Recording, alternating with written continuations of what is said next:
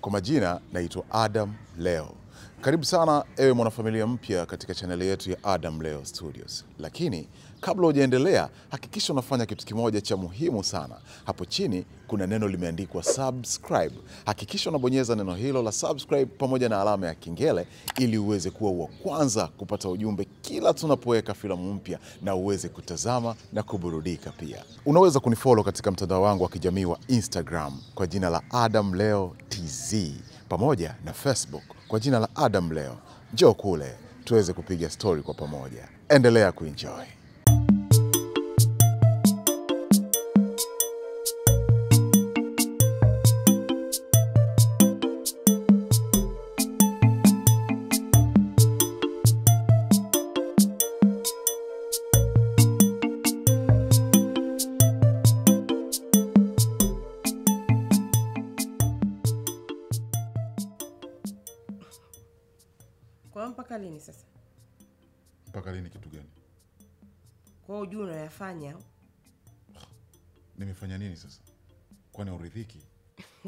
Siongelee kuridhishwa hapa, naongelewa mchezo wako. Tuna mwezi wa saba sasa, tukikutana kwenye tendo unacheulia nje, una maana gani? Sasa mimi nikicheulia nje inapunguza ladha? Siongelei ladha hapa, naongelea kuhusu mtoto. Mimi nataka mtoto wa damu. Ukikutana na mimi, usipocheulia nje umevaa kondomu, usipocheulia nje umevaa kondomu, na maana gani?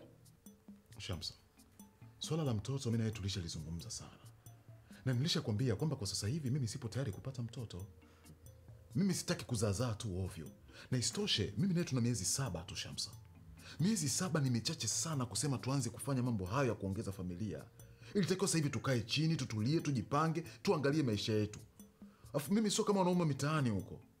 Mimi ni mwanaume ambaye najitambua nina mipango yangu, nina malengo yangu ambao nataka niatimize Kwanza nimeshajiwekea kwamba kuna umri nikifika nitatafuta mtoto. Wewe wewe wewe, acha kuuna miadi na Mungu. Wewe wewe una miadi na Mungu, miaka ipi unataka ifikie? Hayo mayai ya kiguna, mayai ya kiguna. Wewe unajua kama mayai yanayakuga visa hayo yakikaa sana.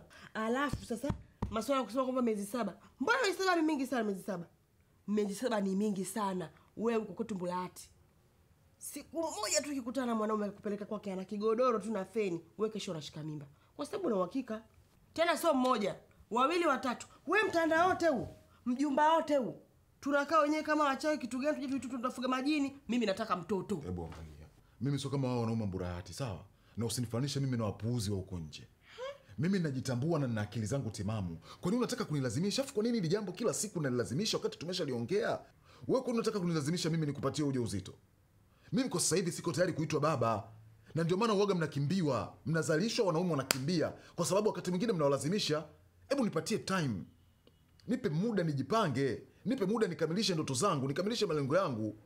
Kuwa na nyumba hii sio kitu ambacho ni lazima kwamba eti kwa sababu una nyumba, kwa sababu una vitu, basi ndo niende nikaongeze na familia. Hapana, hatuishi hivyo wanadamu.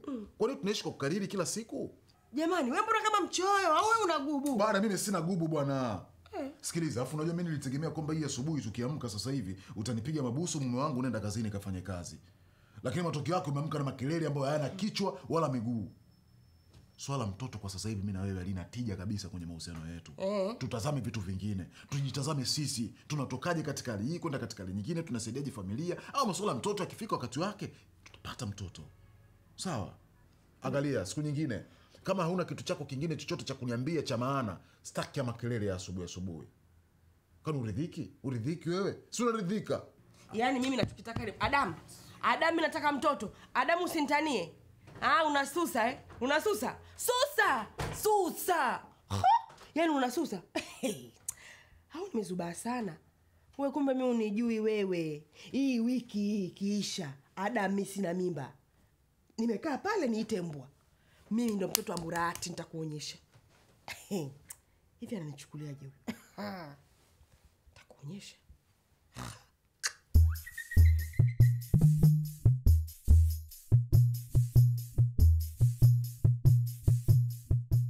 Hebu njoo hapa wewe. Ah. Wewe na wewe subiri kwanza. Kwanza mtoto sio kumsubiria. Yaani usije upoje. Hebu lete batu lote. Wewe. Wewe nitakufumua. Nitakufumua nikuchakaze mamako akuta umechakaa hapa, sawa? Kuna mwaga mwaga. Hivi una akili wewe? chizi. Eh, bless chakula tule tacha cha mbaya. Ndio mbwa chizi, kaa chizi liangalie. Bwege nini? Jamani, napiga makelele kama machizi mna njaa hamshibi eh? Yaani imekuwa mtaa mzima, mi peke yangu ndo nimezaa. Yaani mikelele mikelele, mtindo mmoja. Nini, lakini? Hamshibi. Eh? Mnaona mshibi ya? Sasa, kwa nini mkataza mwenzie? Ah, cheki mama alifanya sasa. Hata kama amefanya ni yake yake kula. eh, eh. Mwacheni kelele jamani, nini lakini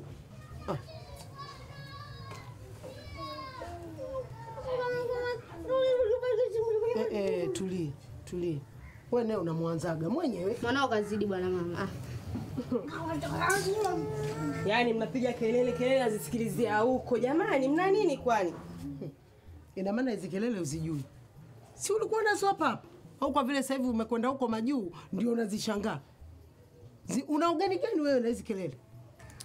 Mama, eh, hebu niambie ulichoniitia. Mimi nina haraka. Kwanza nime request Request Mimi nimerequest mama, natakiwa niondoke tena, nataka uniweke tena. We sema bwana. karibu kaya. Kwa hiyo mami, nikae chini, nikae kwenye mswala eh? huu mswala mimi nikalie? Ah, ah.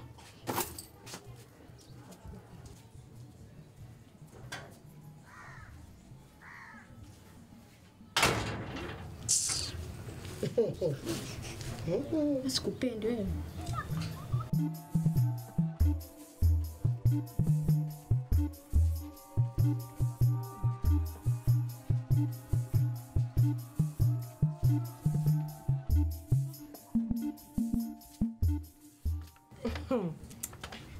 Yaani mama bwana, una uzamani yani mpaka karne iwe ni wa kushona nguo na sindano kweli?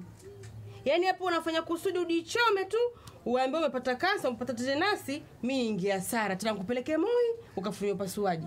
Hapana, kwa kweli nataka nikuletee cherehani ya umeme hapa, ikae hapa mtaa mzima. Mama wajua kama una cherehani ya umeme Mm, Nitashukuru kama utaniletea hicho charani cha umeme, kwa sababu hata wewe mwenyewe ulishonewa hapa hapa. Leo hii tena imekupa shida. Sawa eh, mapenzi mambo mazuri kama mtu akufa. bwana, wewe sikiliza, bi mkubwa, mimi nimekuita hapa, nilichokuitia hapa wenzangu, tangu umeenda huko sisikii mama mbirimbiza mama Ali, sisikii mama ni kile kijisamvu fulani, mama matembele sijui amefanyaje, zile achari za yule bibi alikuwa akianika nje, sikusikii. Una mpango gani? Hey, ah, ah. Yaani mama bwana, nimekaa Mburati miaka yote nakula miguu ya kuku mimi, nakula vichwa vya kuku, utumbo, vitu vizuri vyote nakula mjini, mikorokoro tunakula sisi huku. Bado niende Masaki upepo unako- unakovuma pia mama nikale vitu kama hivyo kweli? Mama wewe kuweza. Ngoja nikwambie. Huko mama tunakula kuku. Kuku anatoka supermarket. Shuti kakaa hivi kuku. hana kichwa huyo, hana firigisi mama. Ukitaka pilipili mama, sio mbilimbi eh? Pilipili unachukua supermarket. Si unanielewa mama?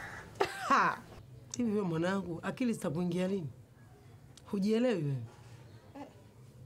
eh? Mimi mafunzo yangu nilokufundisha, sijakufundisha mimi kila kitu kiwekwe wazi, kila kitu kiwekwe wazi. Yaani mi huwezi mtu akakwambia neno kwa fumbo ukamwelewa. Mjinga wewe eh. Hii familia unaiona ni ya nani hii? Yule mdogo wako, mdogo wako eh? Yule pale yupo kama mashine ya matofali, kitoto ndo hicho, mwingine yule pale tumboni. Huyu hapa kama unavyomwona huyu bwana mkubwa, nimeshaambiwa hapa anatakiwa katibiwe Kongo, mii pesa kibao, tena mbali, bado nauli. Na we mwenyewe mwanangu, unajua maisha yetu sisi ni kama kombolela, butua wakomboe wenzio. Wewe umeshabutua, unatakiwa ukomboe hawa lakini wewe aka huna habari mama, mizali unakalia masofa, mizali sijui huko unapata kuku kakaa hivi, mwingine kakaa hivi, wewe aka. Bwana wewe. Eh, eh, embu tulia. Tulia, na wewe embu tulia mwanangu, na wewe naye unajiendekeza, unamjua huyu ukoje? Kwa nini lakini? Ah.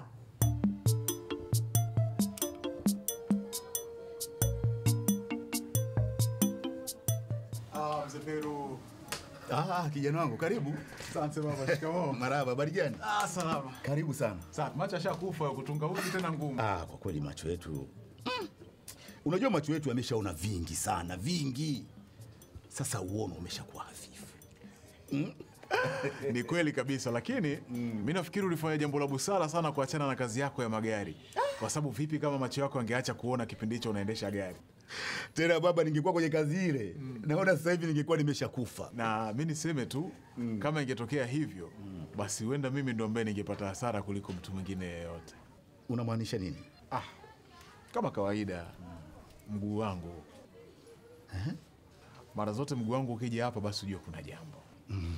na mzee wangu, unajua binafsi, unaelewa familia yangu nyumbani kwetu pale, sina watu wazima ambao wanaweza kunishauri. Changamoto zao zote unazijua. Kwa hiyo mara zote mi nimekuwa nikitegemea sana ushauri wako, na hata leo sijaja hapa kwa bahati mbaya. Mm, kabisa kabisa. Mm. kuna vitu kidogo viko sawa baba. mm -hmm. Binafsi nikaona sina mtu yoyote kwenda kumwambia zaidi yako. mm. Ni kuhusu mahusiano yangu. Kivipi? Uh, Kumekuwa kuna shida kidogo katika mahusiano yangu pale nyumbani. Unajua, kuna binti moja naishi naye, niko naye kama miezi nane hivi. Unaishi naye kwako? pale pale. Na kidogo sahizi kuna hali fulani asintofahamu mi kuna vitu ambavyo vinaendelea pale binafsi vinanichanganya sana akili. Na nikasema kuwa kwa kutumia akili zangu tu pekee sitoweza lazima nipate mtu mzima ambaye anaweza akaniambia kwa sababu mi naamini kabisa nyie mmeshaona vitu vingi kabisa kabisa Yeah. kabisa. baba ule binti bwana mimi ananilazimisha sana nipate mtoto kwa sasa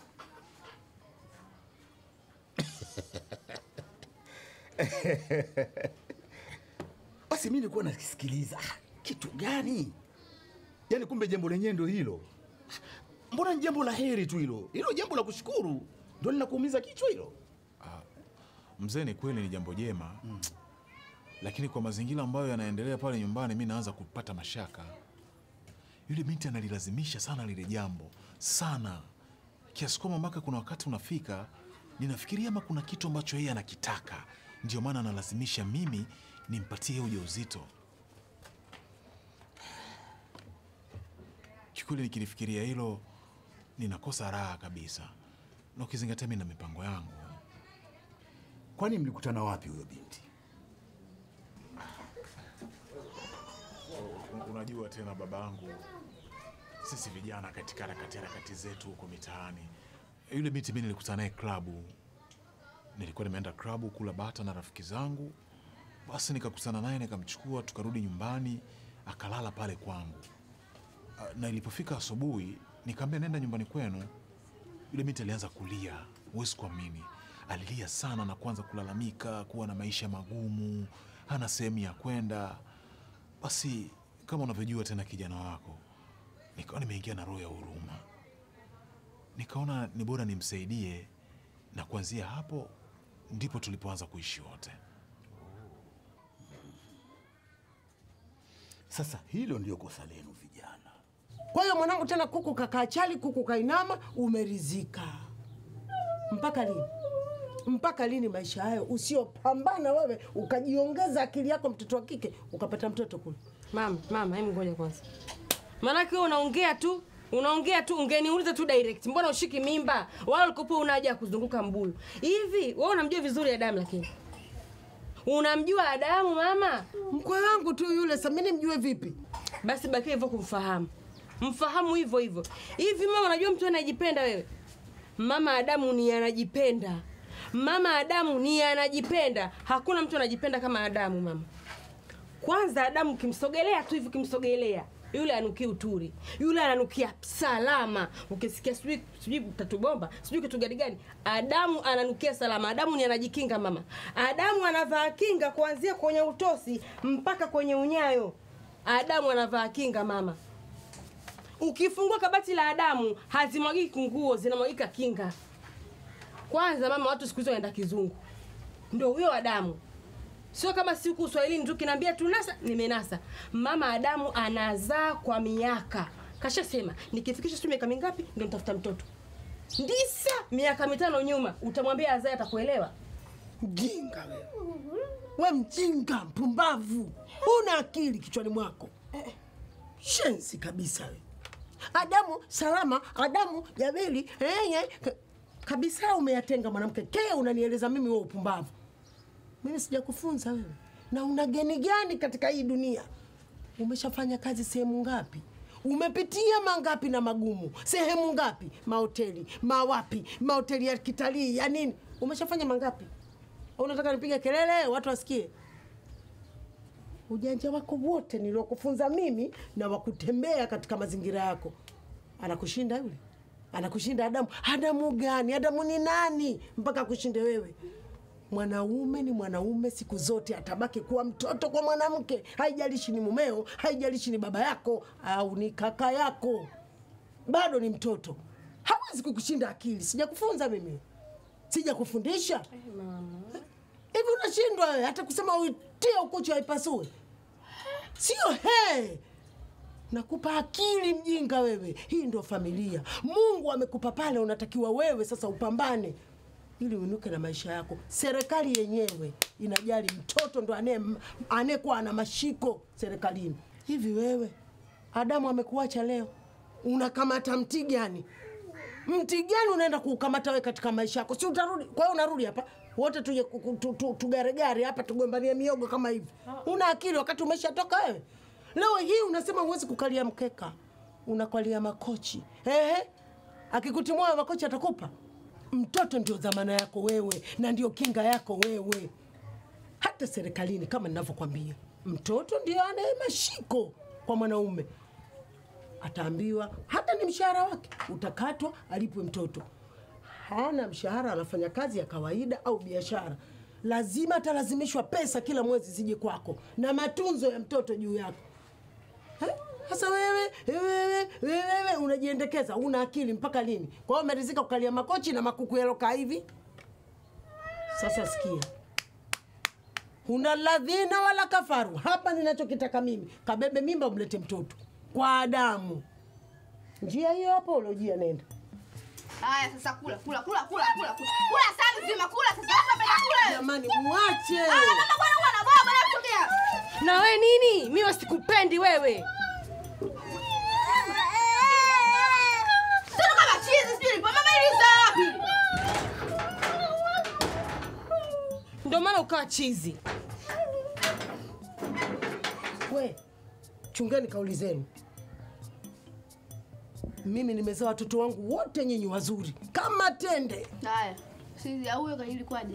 Mimi nilikuwa na bahati sana, wanaume zangu wote walikuwa na pesa nyingi. Hivyo kuja kubeba mimba ya huyu, watu wamenionea fihi, wakaniroga, ndio katoka vile. Lakini sio kwamba yeye amependa au mimi napenda, sipendi. Mchunge kauli zenu hizo. Nyinyi ni wanawake, endeleeni tu, mnazaa na mtazaa. Huwa mnatumia sana hisia kuliko akili. Sisi wakati wetu tulikuwa tunamhitaji mwanamke kwa hisia, lakini pale tulipokuwa tunataka kufanya starehe naye tu, lakini tulipotaka kuingia kwenye ndoa sasa, ndipo tulipokuwa tunatumia akili. Kuna vitu tulivyokuwa tunavifuatilia kujua sasa huyu ni mwanamke sahihi wa kuingia kwenye ndoa, sio mihemko mihemko tu. Hapana, kustarehe ni kitu kingine na ndoa ni kitu kingine. Sasa kama umenielewa, nikuulize kitu kingine. Wewe lengo lako hasa ilikuwa ni nini? Malengo yako? Mi kwa sasa hivi mzee, malengo yangu ni ilikuwa nifanye kazi kwa bidii, nipate pesa na niweze kumjengea mama yangu nyumba kijijini kwao huko. Uh, lakini kingine nilikuwa nataka nijiimarishe sana kiuchumi. Alafu kuhusu masuala ya familia, kutanua familia, kupata sijui mtoto, yangeweza kufanyika hata miaka hiyo mingine huko mbeleni. Hayo ndo alikuwa malengo yangu. Simamia malengo yako, usiyumbeyumbe. nakuelewa mm. lakini hiyo haiwezi kuleta shida kwa upande wake. mm. Kama itakuwa ni mtu mkweli, haitoweza kuleta shida, lakini kama kutakuwa kuna tofauti tofauti yoyote, we mwenyewe utaona. Wala mimi sitaki kukuambia kitu gani kitatokea. Hapana, jambo lenyewe litajiweka wazi. Nimekuelewa vizuri sana. Basi fanya hivyo. Unajua baba, ndio maana mimi mara zote nikikwama mm. lazima nije hapa, kwa sababu ninajua kabisa sitotoka patupu. hapa nyumbani kwako, na, na mimi nikwambie tu kitu kwamba siwezi nikakuchoka. Wewe ni kijana wangu Nimekuelewa vizuri sana mzee. eh? Basi zingatia yote nilokuambia. Kwenye swala la akili na kutazama mbali mm. awe mzee Pero hakuna anayekupata. lazifanya fanya hivyo kijana wangu. Mzee, mi nashukuru bwana, ni kuache uendelee na kazi zako hapa, sababu naona nguo zimejaa mezani hapo, wateja watakuja kukusumbua. tena kama hivi tunavyoongea ongea hapa ah, pengine unaweza kuwa ametokea pale anachungulia, anasema unamwona fundi ana- anaongea, tunapiga story tu, hafanyi kazi. Basi baba, mi naomba nikuache mzee. Basi mimi nakushukuru sana, Asante sana baba, na nikutakia tu kazi njema. nakushukuru sana mwanangu Eh. na wewe lisimamie hilo. Sawa. Nina imani kila kitu kitakaa sawa. Nashukuru baba, nikipata saa mwingine nitakuja. Karibu sana. Asante. Karibu. Asante sana mzee Karibu sana. Haya.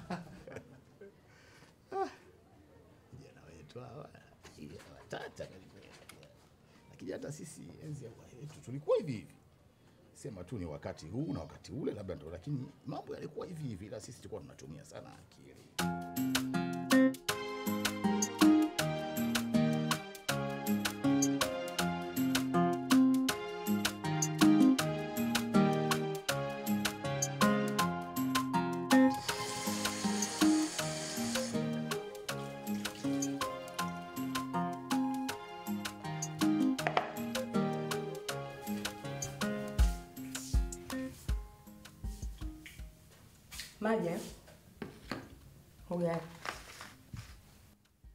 Hii tabia ya kuniendelea mimi chakula huku imeanza lini?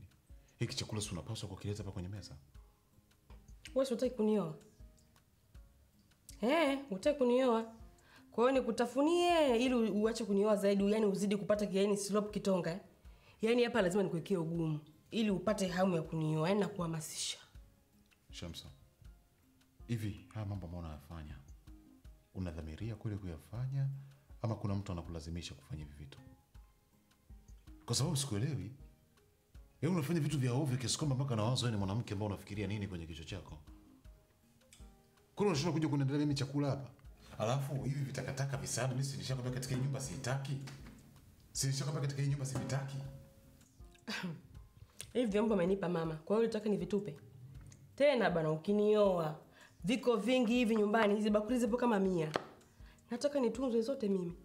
Bwana sikiliza, mi nataka ndoa na nastai hapa na mimi hapa sitoki wala siondoki. Jambo moja tu, hawa wanatodaga mchele hawa, mbona watu wanapenda hawa mm. Kachumbani mm. mm. mm. mm. Ndondo hili ugali kula unataka kula utakiacha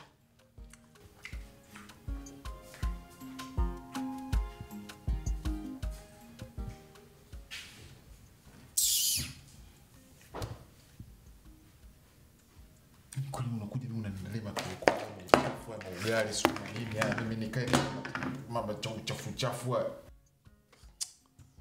Mimi mimi nimekosea wapi lakini kwa nini mimi kila siku nakosea tu? Kwenye maisha yangu mimi kila siku ndo mtu ambaye nakosea, kuna siku hata moja ambayo mimi nafanya machaguo ambayo sahihi. Hivi ni- kwa nini nakuwa hivi? Kwa nini? Ah.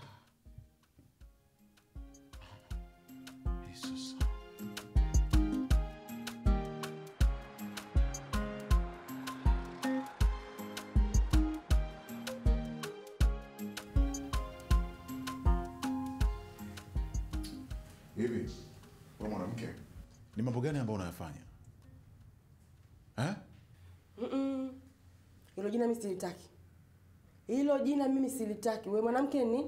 Nini maana we mwanamke? Wewe ungekuwa umenizalisha saa hizi si mama fulani mimi naitwa mama fulani baba fulani au we mwanamke jina ndo kitu gani hicho? Nani mwanamke hapa? Kwa hiyo mambo yako yote ambayo unayafanya umndani kwa sababu ya mtoto, hilo swala la mtoto tulishalizungumza, lakini Shamsa, alafu isitoshe nilishakwambia kwamba mimi kwa sasa hivi sipo tayari kupata mtoto. Wewe ndo utaki mtoto lakini mama yangu mimi anataka mtoto. Wadogo zangu wale pale unamuona yule? Ni mdogo sana. Sasa hivi ana watoto wangapi? Ana watoto wawili. Na sasa jinsi alivyo kabla hajatoka arobaini atakuwa na mimba ingine mimi nimekaa tu hapa nasubiri. Kwa hiyo wewe maisha yako yanaendeshwa na maoni ya mama yako. Hauwezi mwenyewe kukaa kufikiria na kuamua kitu gani unachokitaka. Unachokisikiliza ni familia yako inasema nini sasa kuna maana gani ya kuwa ya mahusiano ya mimi na wewe? Kwa sababu ili mahusiano yakamilike tunatakiwa mimi na wewe ndio tupate maamuzi na tupate suluhisho la kila shida. Sasa wewe unakuja kuniambia kwamba mama yako sijui ndo anataka mtoto. Sasa mama yako anataka mtoto wewe mwenyewe? Yaani wewe unachokisubiri mpaka ufudu aje azae ndio uje unizalishe mimi. Mimi sitaki mwezio mimi nataka mtoto. Na tuelewani eh? bwana angalia. Mimi kwa sasa hivi siko tayari. Siko tayari kabisa. Wewe unachotakiwa kufanya ni kuvumilia. Kama unanipenda utavumilia kama unipendi unaweza kufanya mambo mengine. Lakini sio kuja kunilazimisha na kuna unanilazimisha? Mimi simesha kwambia usubiri. Wewe shida yako nini hasa? Kitu gani ambacho wewe unakiharakisha kupata mtoto sasa hivi? Tena sio wewe kumbe ni mama yako ndo anataka. Afu kila kitu mama mama mama mama yako ndo kitu gani sasa? Naona mimi na wewe hatuna mada ya kuongea leo. Kwanza si umeshakula? Umeshiba? Nataka uje ule tena. Lakini nataka tu uzingatie kitu kimoja. Ukija sitaki uje na mpira. I mean sitaki kondomu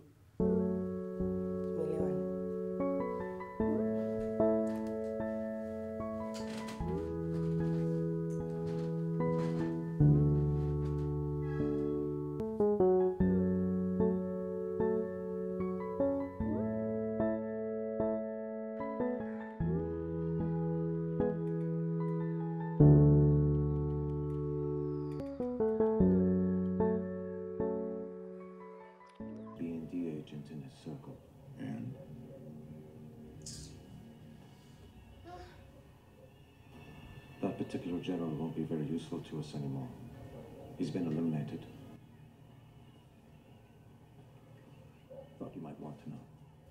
Madam, nige remote. remote ya nini sasa Hasa kitu gani kitu naangalia? Nige remote bwana.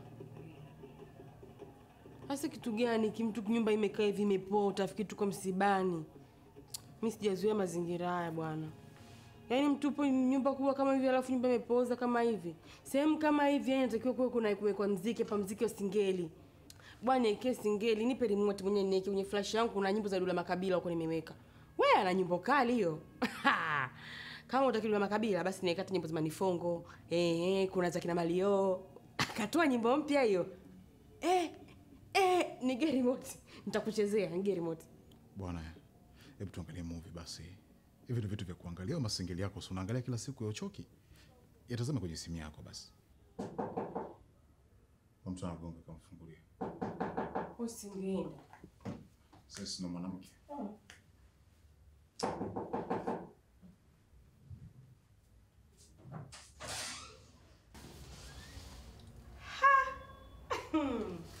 Mama. Nimeacha tu. Pita. Karibuni.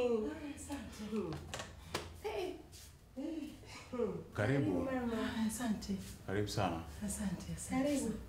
Asante. Kaa. Ah, Haya, ngoja nimshushe mtoto. Eh, Basi nakaa, Yaani hata sikali kama hali unavyoiona, yani mdogo wako anatapika huyu, usiku kucha sijalala. Karibu. Haya, asante baba. Tunakwenda hapo hospitalini, wanasema wanataka laki moja. Hali ni mbaya, anatapika mdogo wako kama unavyoona. Tulia basi, tulie Ufudu, tulie tulia baba, tulia. Jumba. La maana bonge la jumba nakwambia. Mama. Madam. ndo mama yangu nakwambia. Na zile stori nilizokupa za ufudu ufudu, ufudu mwenyewe ndio huyo. Ana mgonjwa sijui kaoza utumbo, sijui matatizo gani, atakiwa kwenda Kongo. Ndo huyo. Ufudu tulia basi, kashaona nyumba sasa hivyo tena vitu havielewi. Ufudu tulia. Kwanza unaumwa utundu kibao, jamani, ndio kazi sasa. basi ndo kazi yake eh, mwenzenu mimi kazi ninayo teremka mtoe basi anaweza kavunja. amwache U- ufudu shuka babu shuka. Mtu mwenye anaumwa ajione huruma. Eh, ufudu teremka Ateremka babu. babu ehe kwa hiyo. Sasa babangu, mimi hili ndo nilojia, nimekuja hapa unisaidie. Kama nilivyosema, mtoto hatujalala, anatapika, anashinda anatapika, anamtupa majani siyo ya nini, wapi ufudu, acha, ana kimeo, anatakiwa laki hii aende akakatwe kimeo. Sina mbuni hapa nilipo. Mama, kwa sasa hivi mi kiukweli uh, sina pesa.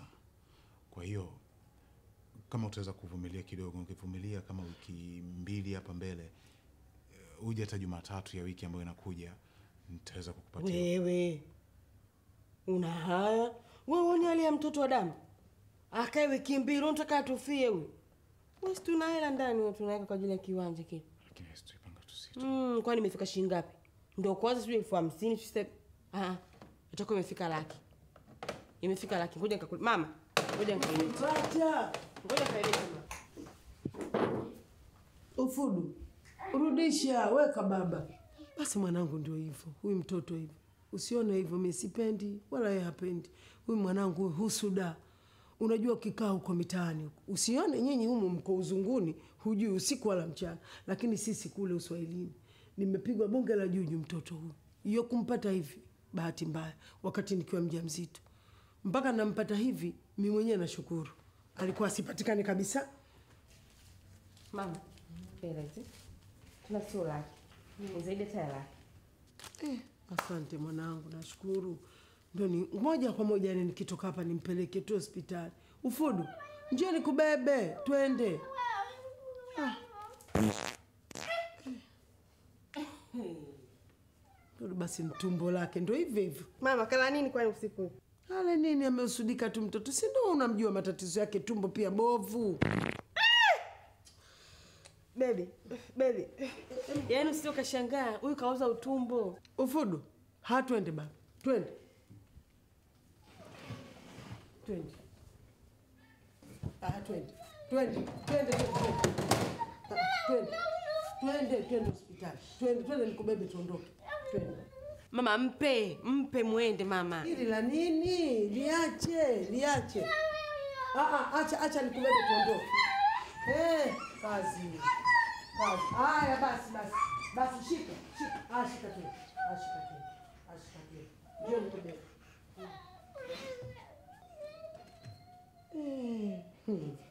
Kazi.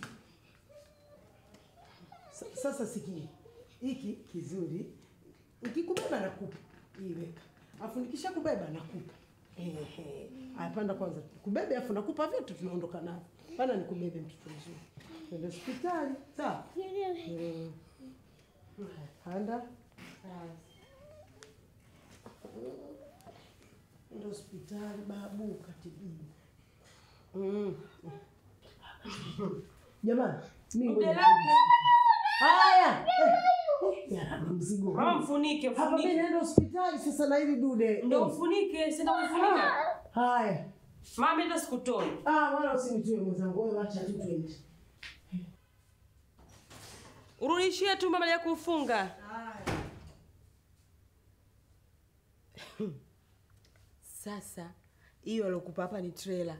ungekaa naye masaa haya tumbo lingekujaa guest na ungetoa vitu kama vile. Yaani yule pale kafanywa husda mama kampeleka tanga yule kwa waganga imeshindikana. Akaenda sumbawanga ikashindikana. Hasa mganga wa sumbawanga akaambiwa ili yule mtoto apone kuna mganga yupo, yupo kongo huyo mganga wake. Kwa hiyo inabidi pale mama atafute hela aende kongo ana connection za waganga yule. Usimwone vile. Nani anayemsumbua? Ufudu! Wewe ukitaka mganga yeyote mama anao kwa ajili ya ufudu. Hasa kuna mwingine ana mimba kule. We! Karibu kwetu.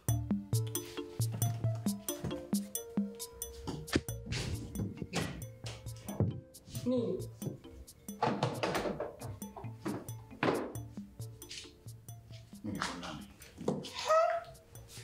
Wadada. Hivyo ujue na mpango kumchukua Ufudu kuja kukaa naye hapa. Mbona utanuna sana? Ngoja nike singeli.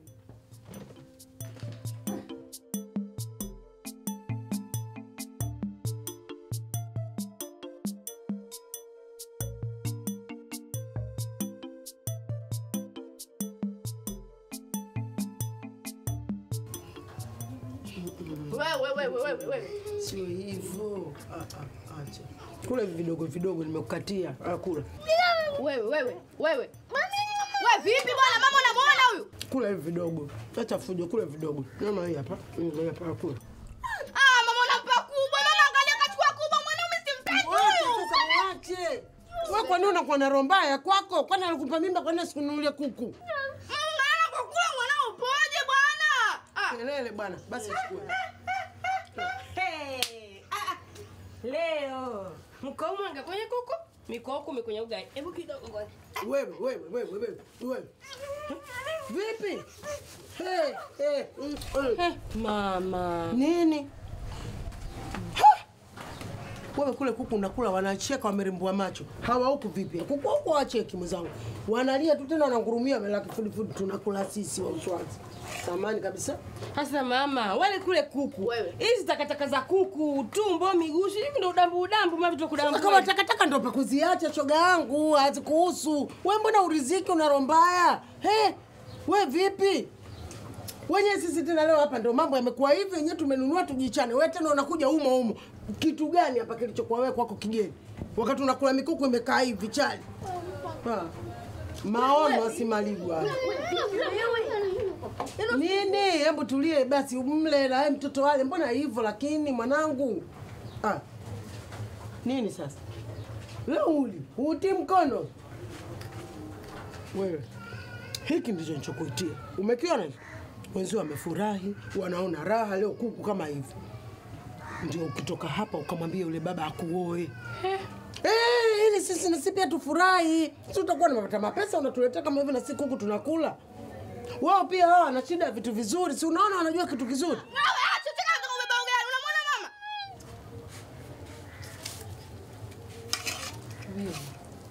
Kwani una, una nini haswa wewe? Hivi na wewe na wewe mimi nikuulize haswa mimba akupe nani alafu kuku je kula huko? Eh? Mwambie akupe kuku. Habari ndio hiyo. Ndicho nilichokuitia bi mkubwa. Nenda mwambie auolewe. Hebu muache bwana, lakini wewe mbona una matatizo? Wewe bwana ndio mama vipi bwana? Wewe unamtia wazimu huyu. Mama sasa? Inuka basi utulie ule. Jamani, jamani. Ni mtihani huu. Hakuna kutia mkono. Huko ukoli kukwenda kuchukua tumbo lako ndo nao wakakupe kuku. Marufuku.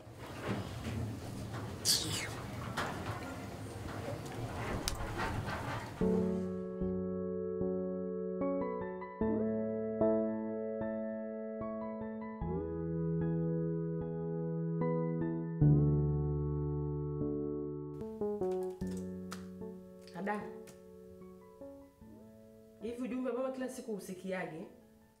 Mama anasema utanioa lini? Hivi umelisikia swali ambalo umeniuliza? Mama anauliza utanioa lini? Anauliza yeye kama nani? Ha, si mama yangu. Shamsa, hivi unajua mimi nimechoka na hizi kelele za mama yako kila siku hapa nyumbani.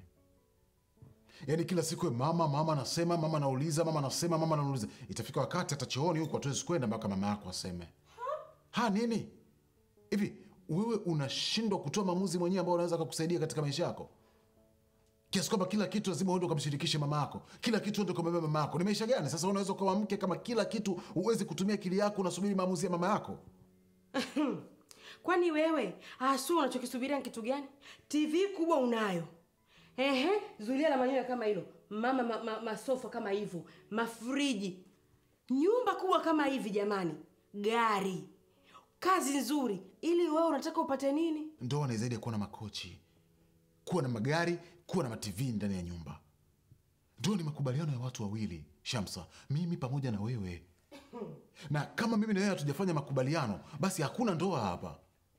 Sasa wewe unaweza ukawa uko tayari kwa sasa hivi kuolewa, lakini binafsi kuna malengo yangu ambayo nimejiwekea mpaka niyatimize. babu hizo unazoleta wewe ni kufuru hizo unazoleta wewe ni kufuru mburahati kule mtu akinunua feni tu na godoro wanaoana mambo mengine yote nakutana huko huko wewe una kila kitu utaki kunioa eh?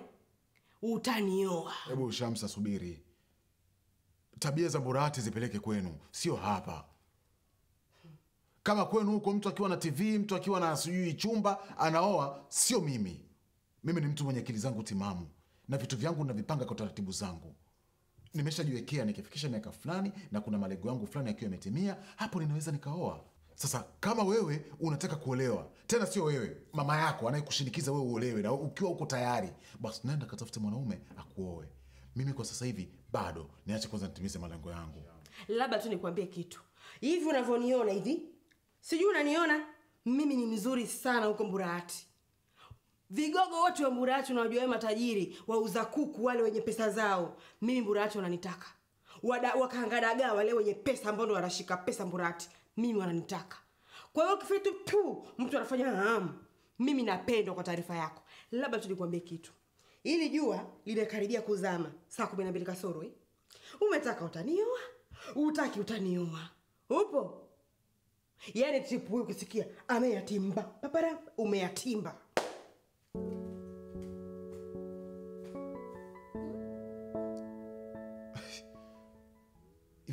wanawake wa Kiswahili wanakuwa wanalishoga vitu gani katika kipindi cha watoto wao? Yaani mtu anakuja afikirii, atumie akili yake kufanya maamuzi, kila kitu kidogo, mama sijui mama yewe, basi haya hata basi tatu kitaka tulale humu ndani mpaka mama yake amue sisi ndo tulale. Kwani ni lazima mimi kuoa kwa sasa hivi? Mtu nimekupa hifadhi vizuri na kustiri hapa ndani, alafu bado unataka kuja kunilazimisha kufanya vitu vingine ambavyo mimi siko tayari kuvifanya. Sikiliza, nimeshasema sitokuoa. Utanioa, utanioa. Kumbe unanisikiliza? Sitooa, sitooa mpaka pale malengo yangu yatapokuwa yametimia. Sijui na Waswahili ni wakoje?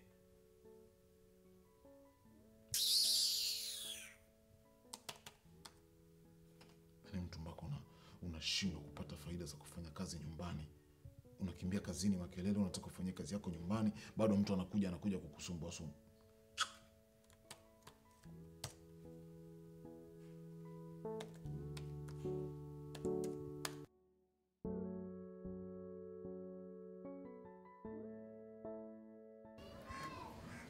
Unajua, najaribu kutafakari sana ili mzee Pero, afu nashindwa kuelewa yule mwanamke ni mwanamke wa aina gani. Sasa sasa hizi amekuja na jambo jipya kabisa la mama kasema.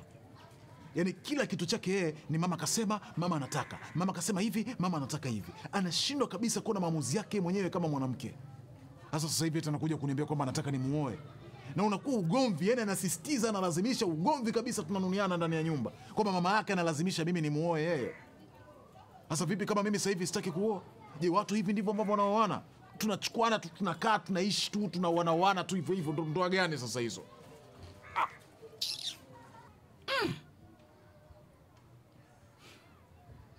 Mwanangu, huyo mwanamke hafai, hafai kabisa, yani hafai. mm. Hivi wewe ulishawahi kwenda kwao? Hapo hapo kuhusu kwenye kwenda kwao, yule binti hataki kabisa nifike kwao, japo mama yake ameshaikuja nyumbani pale, alikuja kuomba pesa, na sio mara moja, mara kwa mara amekuwa akinipigia simu na kuniomba pesa. Lakini napomwambia yule mwanamke kwamba nahitaji kufika kwenu nione hata ndugu zako wengine, wajomba, mashangazi, wadogo, labda kama unao, hataki. Sasa mimi nafika wakati napata mashaka, kuna siku anaweza kanidondokea pale mtu hata sipajui nyumbani kwao. Ami bwana, nimeanza kuchoka. Hilo ni tatizo, na labda nikuambie tu kitu kimoja, kwamba hata kuwajua wazazi wake tu hutakiwi kuishia hapo. Ni lazima uujue ukoo mzima, kwa sababu unajua kuna wakati mwingine kwenye hizi koo unakuta kuna magonjwa ya kuambukiza, wewe unaingia unakuwa hujui. Hilo ni tatizo kubwa. hmm? Nakuelewa mzee wangu, lakini ni sifa zipi ambazo nikiziona kwa mwanamke ninaweza kujua kwamba huyu mwanamke ni sahihi na mimi napaswa kumuoa? Hilo umeuliza swali nzuri sana kijana wangu. Kwanza anatakiwa awe mcha Mungu, halafu vile vile kama nilivyokuambia, ujue ukoo wao wana tabia gani, ni watu wa namna gani. Halafu la pili, lazima awe mvumilivu. Unajua, kwenye hizi ndoa hizi kunakuwa kuna mambo mengi sana mwanangu. Unajua, mnapokuwa mnaishi pamoja, naweza likatokea jambo likawashinda nyie kuliamua, pale inabidi mwende kwa wazazi.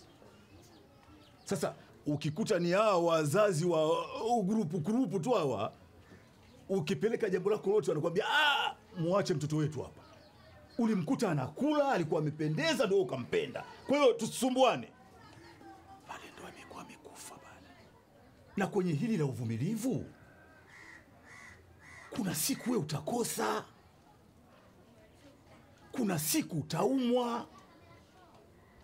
Kama mwanamke si mvumilivu, yakitokea hayo mambo, anaondoka. Sijui unanielewa? Mi nakuelewa sana mzee Peru, sana. Alafu unajua hizo sifa ambazo umezitaja hapa, yule mwanamke hana hata moja hata moja hana. Sio mcha Mungu kwa sababu sio mtu wa kwenda msikitini, wala sio mtu wa kwenda kanisani, sio mtu wa kwenda kwenye nyumba yote ya ibada, lakini pia sio mvumilivu. Kuna wakati nampima kwa vitu vidogo vidogo tu, anaweza kaomba pesa kidogo, ukamwambia una ugomvi mwezi mzima. Mama yake anaweza akakuomba pesa, ukamwambia bwana, sina kidogo, nivumilie, ugomvi. Kwa sio mvumilivu hata kidogo. Mimi sijui hata nifanyeje, sijui hata nimejichanganyaje msimu huu mimi. Sasa kwa hayo unayoongelea, hebu jiongeze, jiongeze mwanangu, kwa sababu yote unayaona. Mimi sitaki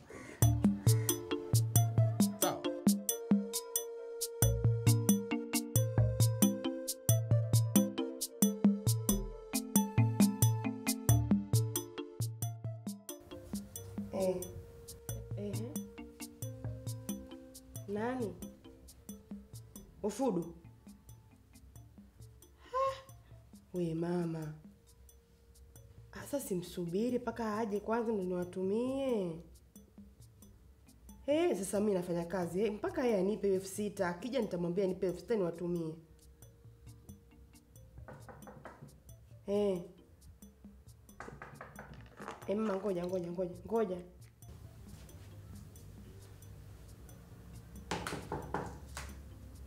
Karibu. Karibu. Asante. Shem, mambo vipi? Safi, karibu. Asante. Adamu nimemkuta Adamu kazini? kazini, mbona hayupo? Kazini hayupo. Adamu katoka hapa kaenda kazini. Wewe hujamuona itakuwa. Ah, mimi mwenyewe nilikuwa kazini. Sasa kuna ujumbe wake ilibidi nimfikishie. Hewe sikaa hela. Nini kwani? Utamfikishia tu mwenyewe ujumbe wake. Basi haya karibu. Ah, mimi. Asante sana. Rudishie tu. Nifungue, sifungue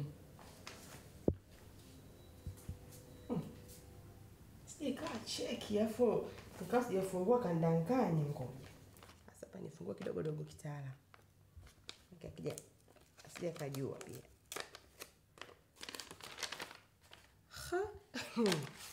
Yaani mbasha mkubwa kitu chenyewe kidogo.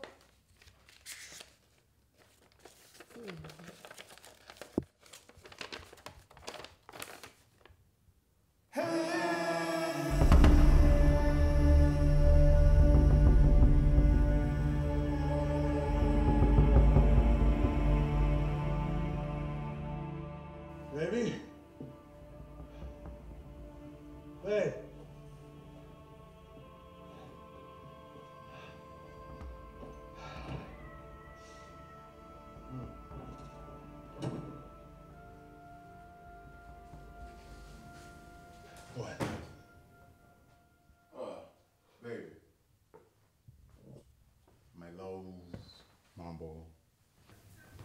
Niache bwana.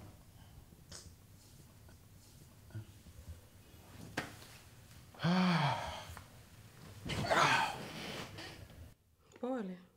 Asante, yaani nimechoka vibaya mno. Mm, umechoka kweli? Maanake umechoka haswa, maanake kazi ulioifanya leo sio kazi unayojua mimi kila siku. Unatoka wapi? Kazini? Kazini huku kuna kukujua mimi. Siku hizi unadanga eh? Kazi nyingine ipi tena? Mi sina kazi nyingine yoyote. Nilienda kazini, nimetoka kazini, kuna jamaa wangu mmoja nikawa nimeenda kuonana naye, na baada ya kutoka hapo nimerudi moja kwa moja hapa. Mm. We uende kazini asubuhi hiyo ulo- uloaga umeenda kazini, iletwe barua yako hapa nyumbani, si ndio? Hii barua ni kwangu mimi? Barua yako ndio, si ulikuwa kazini, alafu hujui kama ulikuwa na barua pia. Imetoka wapi?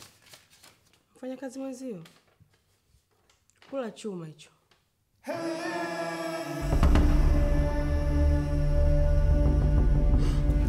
Wewe Adamu, Adamu, wewe Adamu, Adamu, Adamu, Wewe Adamu, wewe Najua unaenjoy filamu hii. Kabla hujaendelea, hakikisha unafanya kitu kimoja cha muhimu sana. Hapo chini kuna neno limeandikwa subscribe. Hakikisha unabonyeza neno hilo la subscribe pamoja na alama ya kengele ili uweze kuwa wa kwanza kupata ujumbe kila tunapoweka filamu mpya na uweze kutazama na kuburudika pia. Unaweza kunifollow katika mtandao wangu wa kijamii wa Instagram kwa jina la Adam Leo TZ pamoja na Facebook kwa jina la Adam Leo. Njoo kule tuweze kupiga stori kwa pamoja. Endelea kuenjoy. baba, huyu ataamka kweli huyu? Ah, huyo ataamka, ataamka, sio na wasiwasi. Nimepata wazo, nimpigie mama yule mganga wa ufudu aje amwangalie huyu. Ah, usijali mama, sababu sasa hivi nasikia hata joto kidogo limerudi na na mapigo yake ya moyo naona kama yako sawa. Baba, kuna hasadi, huyu utakuwa ameshausudiwa huyu. Ngoja nimpigie mama mganga. Tulia, tulia, tulia, tulia, tulia, tulia, tulia, tulia.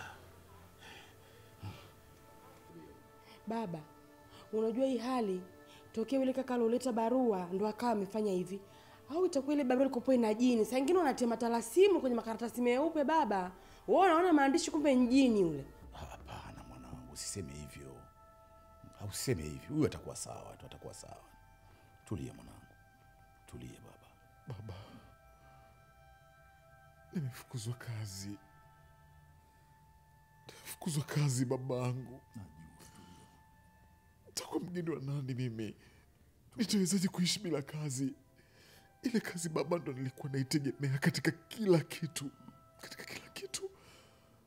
Leo sina, tafanya nini? Pole, najua unaumia sana mwanangu, najua unaumia, lakini haya unayofanya yanaweza kusababishia matatizo mengi sana. Kuna visukari, kuna mapresha, kuna mambo chungu mzima yanaweza kusababisha na hivi unavyofanya. Mwanangu, kikubwa ni afya na uhai. Ukiwa una afya, uhai ukiwepo, kila kitu kinakuwepo sawa kabisa. Baba, nakuelewa, nakuelewa, lakini unaelewa kabisa kwamba mimi nategemea ile kazi. Ni kweli, Unategemea fika kwamba ili mimi na mpenzi wangu tuweze kuishi ni lazima nifanye kazi. ni kweli, Sasa leo anakuja kunifukuza kazi hata bila kuniambia kwamba Adamu, jiandae, baada ya miezi miwili utakufukuza kazi. Wananiambia tu nisiende tena, tena wananiachisha kazi bila kunipatia chochote. Ni kweli, ni kweli mwanangu, mimi najua unavyoumia, najua sana unavyoumia, lakini hebu jifunze kwa mimi baba yako. Unaniona mimi, mimi si nilikuwa ni dereva? Ile kazi ilikwisha, lakini sasa hivi maisha sianaendelea kila kitu kitakuwa sawa mwanangu, kama nilivyokwambia. Kikubwa ni uhai na afya, basi hakuna kingine. Tulia mwanangu, utakuwa sawa tu, usijali eh? Adamu, kwanza pole, alafu ilikuwa nasemaje, kama utakuwa na elfu sita hapo, elfu sita tu? Unipe. Kusudi niwatumie kule nyumbani, si unajua? Wamekula rakai toka asubuhi.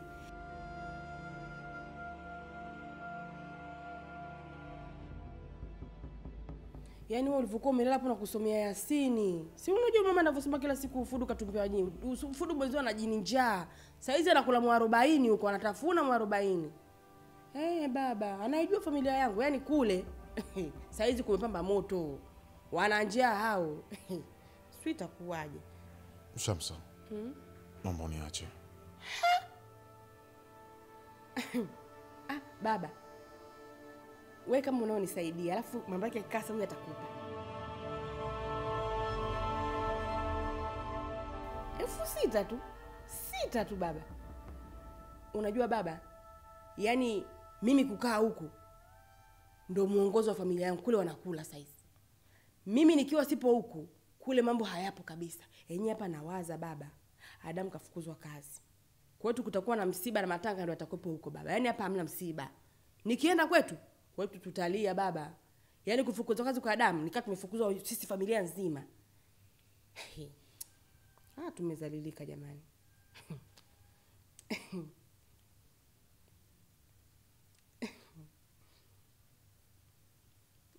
Baba wewe nipe tu elfu sita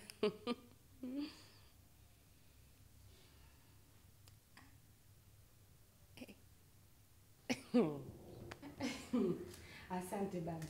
Asante baba. Hasa kwani Mungu kuna haja ya chenchi? Kuna unataka chenchi mu baba? Hamna haja ya chenchi. Hamna haja ya chenchi.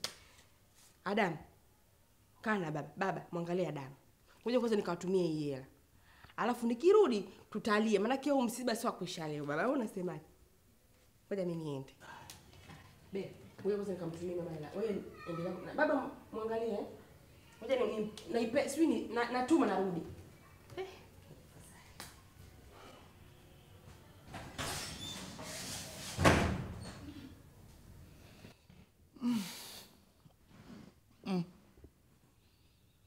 Ama kweli ukistaajabu ya Musa utayaona ya Firauni. Haya ninayoyaona sasa ni ya Firauni.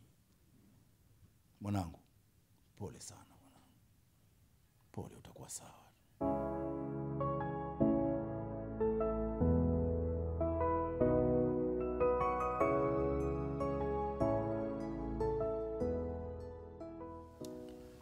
Yaani mami hata sijui naanzia wapi. Anzia hapo hapo ulipoishia. hasa sielewi ni kuombe ushauri maanake ulivyonipokea hivyo mimi hata sijui naanzia wapi. Mama adamu kafukuzwa kazi. Na kitu ambacho kinaniumiza zaidi ameambiwa hata walipo mafao hata thumni huwezi kuamini mama ile nyumba aliokuwa anaishi adamu kumbe sio ya kwake. Gari aliokuwa anatumia adamu sio ya kwake vitu vyote kumbe ni vya kampuni mama.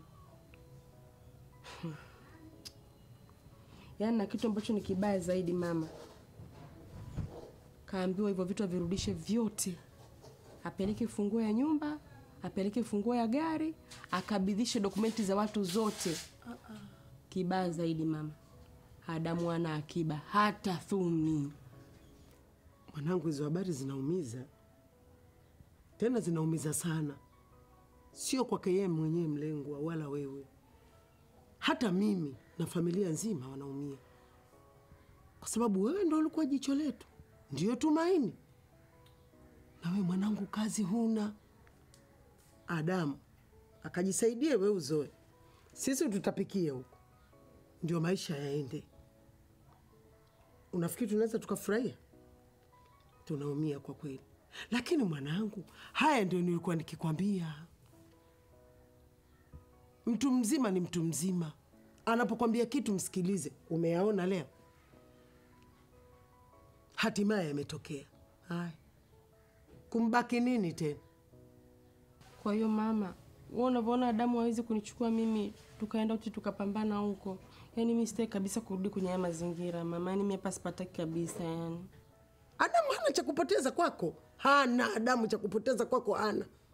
Lakini pangekuwa na mtoto, kwani Adamu kanyang'anywa roho au kanyang'anywa ujuzi? Adamu kama ni elimu yake anayo, vyeti anavyo, ujuzi anao, maofisi yapo kibao mwanangu, ya serikali ya mashirika, ataenda kufanya kazi. Lakini angeutia umuhimu, angekuwa na mtoto na wewe. Mhm. yuko wapi sasa ana umuhimu gani nawe umuhimu gani na wewe anao adamu una mtoto naye Ah, mawe mtwende nje bwana, tunapatwa na miinzi kama jalala. Ah, Sasa twende tuko ndani nje. nje mwanangu, wewe unamjua huyu hali yake, akilala tu mara anashtuka mara anashtuka, ndio uzazi. Sasa nitafanyaje? Nende nje namwachia nani? Mama, Uwe jauza utumbo kweli huyo? Angekuwa hai mpaka leo. Acha kufuru mwanangu. Mm-mm. Mtu anaweza kakauza utumbo na anaishi mama. Huyu ushamfanya x-ray sio ultrasound huyu. Uliwahi kutuma pesa huyu aende akafanyiwe? Mama isi hapana. Mm-mm. Na hizo kufuru zako ndo zinapokufikisha hapo, unapata majambo makubwa makubwa. Mm, chekisha minzi. Kama chemba. Mbona unakuwa na nongwa na mambo ya Mungu? Yeye anapenda mwenzio mbovu jamani eh? Na ndio maana mimi nilikuwa nataka kule uongeze, ulinogeshe lile pendo kwa kupata mtoto, ili tuwe na nguvu. Mapesa kile angetujia sisi, huyu angeenda Kongo, angetibiwa, balaa zote zingeondoka. Lakini wapi? mm. Mm. Malupelupe eh. Una nini? harudi sasa hapa tuje tukae tusikilize kama hivi michuzi ya ufudu ndio kitu kilichobakia kuna kitu gani kingine kwa sababu mwanangu kule ulipokuwa wewe ulikuwa unaona uko kwenye starehe mapenzi ndoa. Lakini kwangu mimi nilikuwa sioni hivyo. Nilikuwa naona wewe uko kwenye ajira. Stara yako ndo stara yetu. Eh, nimeshakwambia maisha yetu ni kombolela. Wewe kule ulivyokuwa umebutua sisi huko ndo tunakomboka. Kwa nini wewe unielewi mwanangu? Mm, Mama, mm, mm. mama twende nje. Wewe. Mama ukanya. Mm, Mama ukanya. Uh, Ufudu. Wewe ufudu. Mama mm, mm, nisamee bure ufudu. Ewa amka kule. minzi kama nini? aise ufudu hapana mama, apewe maua yake kabla hajafa. Eh, ufudu, tumekupa maua yako kabla hujafa. Eh, so kwa shauri mama. Yote tisa. Mm-mm. Mama, kwa hiyo kumi tunafanyaje kuhusu mimi jamani? Mm. tunafanyaje? Tunafanyaje hiyo? Unaniuliza mimi. Mama tunafanyaje? Sijui itakuwaje. Itakuwa bila kubwagiliwa. Mama, eh, una ya tu au mpaka yangu ndio amekukaa koo namna hiyo? sasa unaanzaje kuniuliza mimi swali kama hilo? Mi mwenyewe pia hata sijui. Mimi mwenyewe nataka nikuulize wewe tutafanyaje katingisha akili yako mjue cha kufanya. Mi sina hata jambo la kufanya. Sasa mi nifanyeje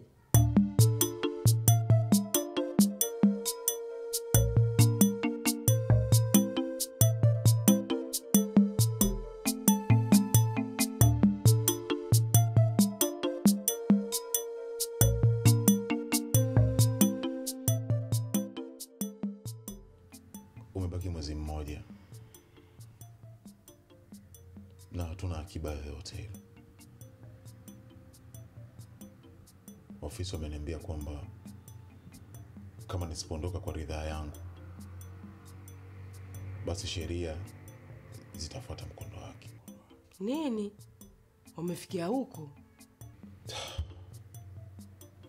Sijui hata nafanyaje, Shams. Yaani akili yangu haiwezi kabisa kufanya kazi katika hili. Najaribu kuwaza na kufikiria, lakini naishia kukosa majibu. Tunafanyaje mpenzi wangu? Yaani wewe naona kama akili yako inachanganya.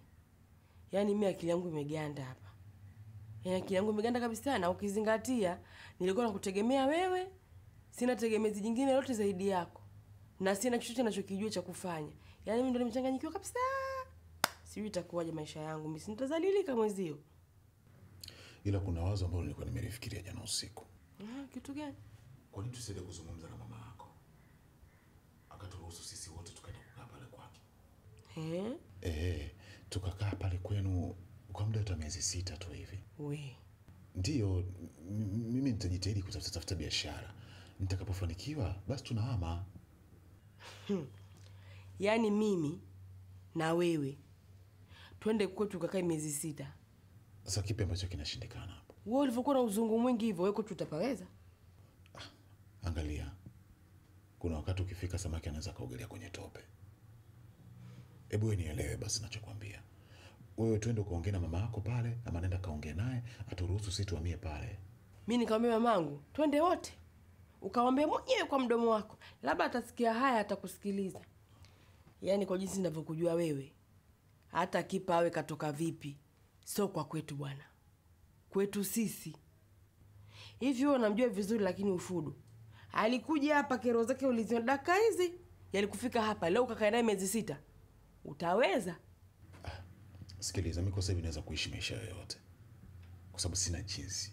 Yaani nimekwama hebu tufanye huo mpango wa kwenda kuongea na mama yako basi. Haya tujiandae twende ukamwambie. Atakubali lakini eh? Ah, ah, sasa hapo kwenye atakubali atakataa, mimi wala hata sijui. Kwa jinsi wewe utakavyoenda kujielezea na tutaona namna atakavyoyapokea. Kwa hiyo hapo kama ni kuzika kusafirisha ataamua yeye. Si tweni tu hatima tutaikuta huko. Basi Sawa,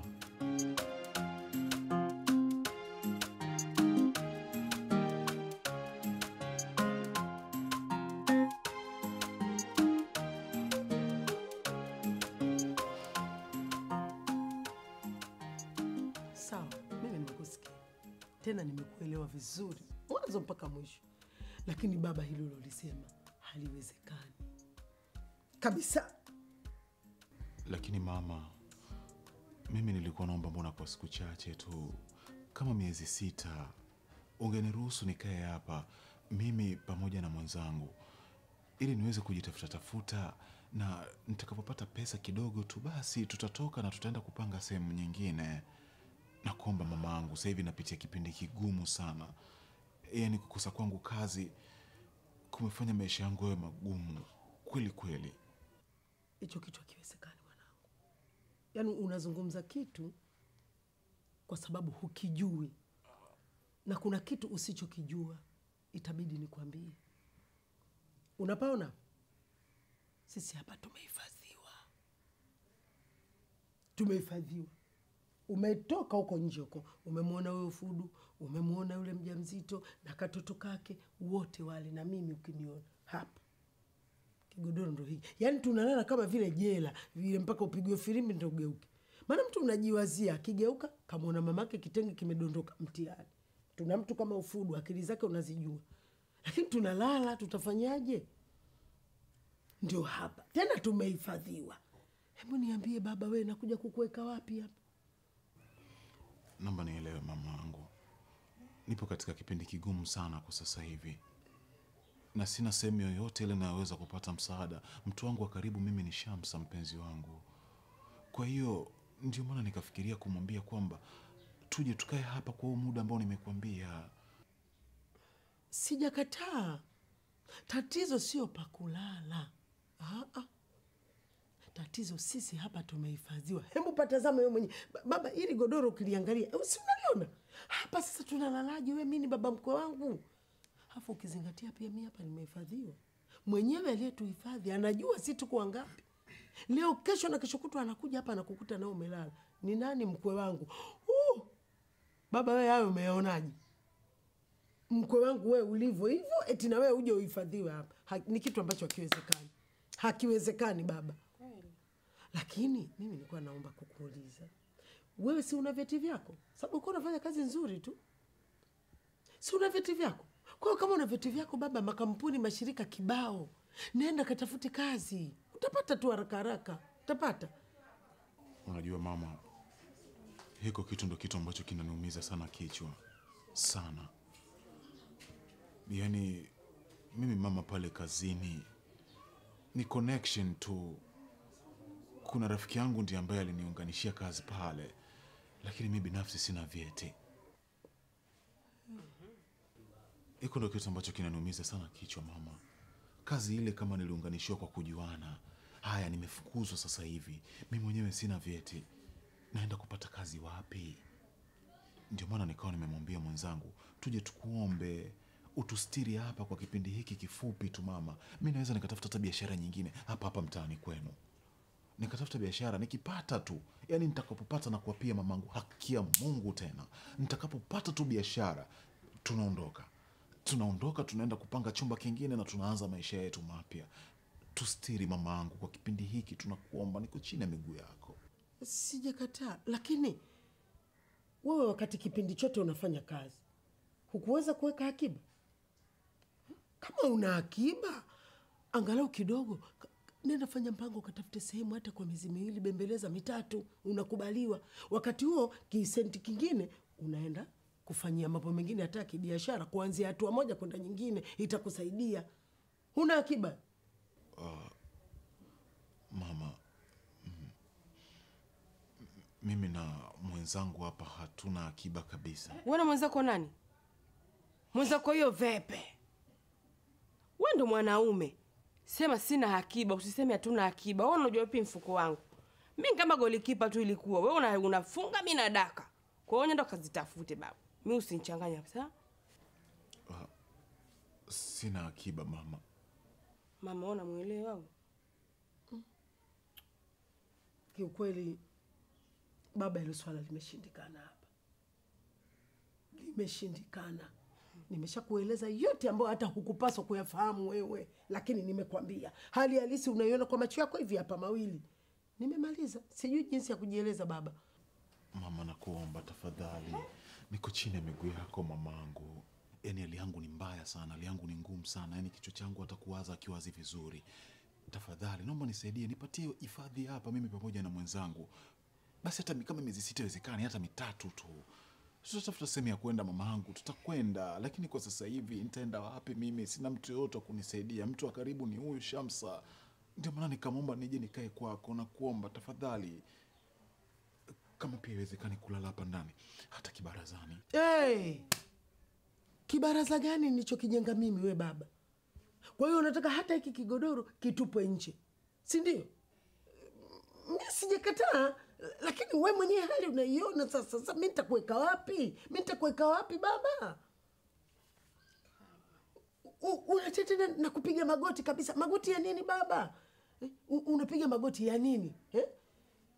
Kubwa mi naloliona nikusaidie tu huyu bibi abaki hapa hilo mimi naliweza huyu abaki weka paraganyika huko baba mbuli ibanika umeelewa mbuli ibanika baba nenda Angalia sina msaada kama nilivyokuambia. Basi kama hiyo miezi sita iwezekani, Shamsati, si tu- tunaweza tukakaa hapa hata miezi hata mitatu tu. Mimi nitatafuta kitu chote cha kushughulika nacho kwa hapa mtaani. Tutaondoka mamaangu, baba haiwezekani tutaenda wapi sasa mimi na mwenzangu? Sasa uende na mimi wapi? Jamani wewe mbona luba mama? Wewe mbona king'ang'anizi namna hiyo? Kwani umezaliwa na mimi? Tumekutana ukubwani tu kila mtu ana meno yake thelathini na mbili. Baba we nenda. Tena kazingatie maukoto. Kazichange, kazitafute. Ukizipata, mimi nipo tu. Au unasemaje mama? mm -hmm. Mimi nipo hapo utanikuta. Lakini pia siwezi kuondoka zaidi kwa sababu moja. Wadogo zangu wao nawaona. Si umemwona Ufudo au nimuite? Mkuitie Ufudo aje kupa vitu vyake vile? na yule mwingine mzazi umemwona karibia anajifungua yule hasa mama peke yake ufudu mzazi mtoto mchanga kale kengine ataweza au we kuweza we nenda tu mwenzangu Sawa bwana, kweli hata siku hata, basi hata siku wa leo tu hapa hakuna msaada baba nimemaliza yote we nenda Ah, Adam, mimi tu labda nikushauri kitu. Kama alivyokuambia mama, wewe nenda, mazingira kwako sio rafiki. Nenda kajichange, kajitafute. Kikubwa zingatia maukoto. Ukishazichanga ukizipata, rudi. Mbona mimi nipo, mimi nipo, utanikuta. Kwa sababu pia siwezi kumwacha mama, si unajua hali ya wadogo zangu eh? Yule mjamzito ana mtoto na ufudu ndo kama unavyomwona zipe zipe. basi mama.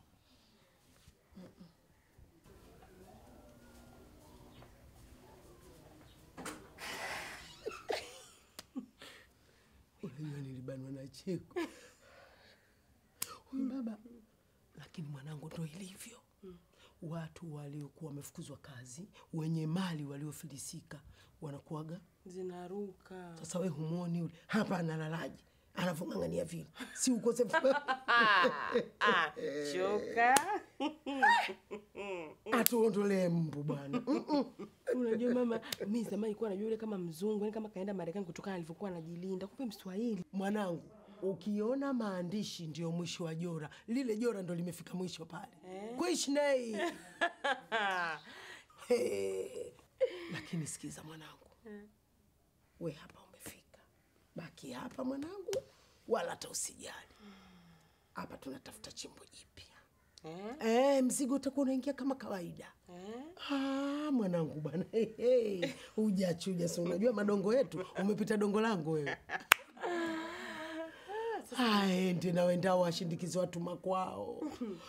We mama. Unajua kwa ule mwanaume mimi sikupata chochote unajua. Nimeambulia nguo tu na viatu na vitu vyote viko huko. Ana vipata vipi? Si yupo huyo bodaboda hapo juu au si utamtuma tu unamwelekeza?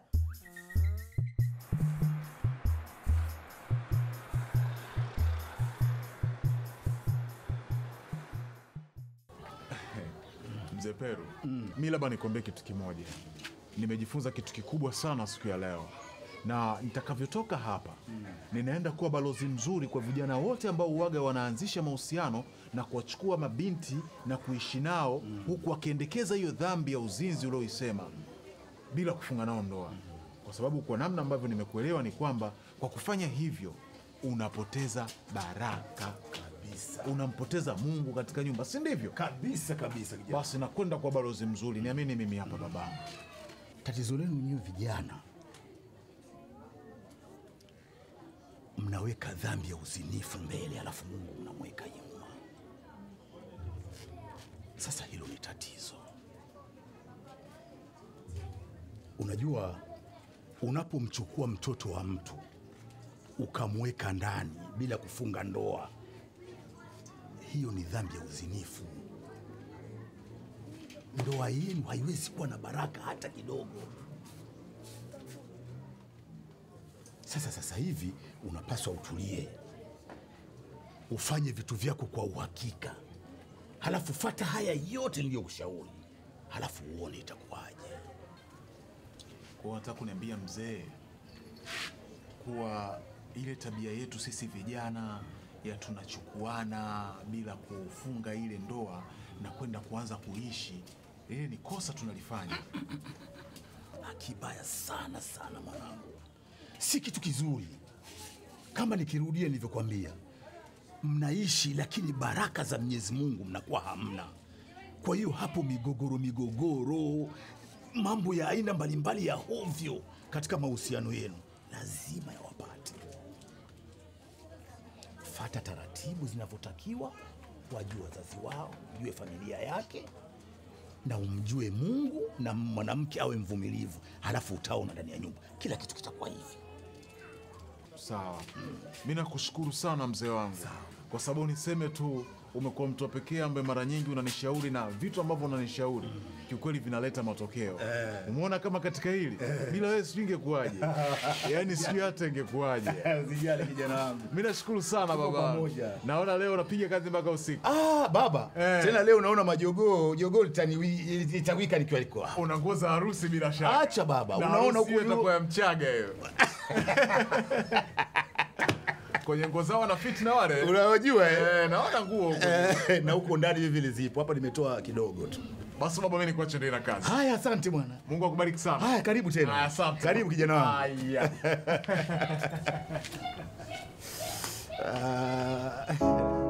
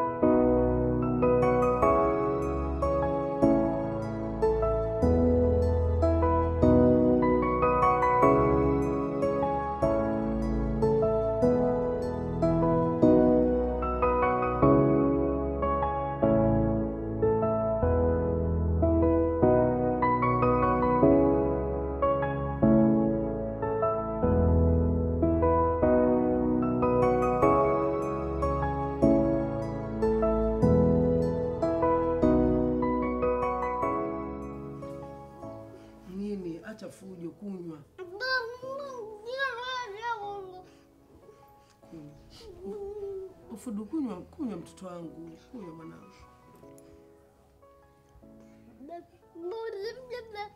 Mm, Tulia.